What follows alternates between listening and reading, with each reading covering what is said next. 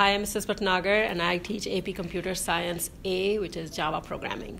So this is an intense class. Students learn how to program in Java. This is totally focused on programming, unlike the other AP class, the principles class. I, I, teach a concept in class, and then they work on that concept, create programs involving that concept. So there are like three or four labs per lesson, and there are like total of like 22 lessons in the whole curriculum. A lot of collaboration, hands-on activities, and mostly students working on the computer, you know, trying to pro- program. A lot of the work is individual here, even though you mean you can collaborate with your peers and get help stuff. A majority of the work that they're doing is individual work. I would expect students to spend about two hours a night on this class because the program, you know, your programming, if the program goes well, you know, it'll get done fast. But if you run into errors and you're debugging, that takes some time. There's no way to learn programming without actually doing it. The hardest part is the programming. Up till now, students were coming in with not much programming background, but we are hoping that when once the pathway materializes, students will come up with prior experience and they'll have more exposure to programming. The other hard part in this is